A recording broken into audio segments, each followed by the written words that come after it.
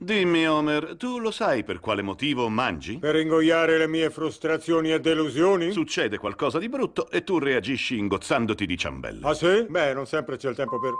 Bene, ora ti insegnerò delle alternative emotive sane al mangiare. Non abbiamo molto tempo, quindi lo facciamo con un montaggio sulla canzone Eye of the Tiger.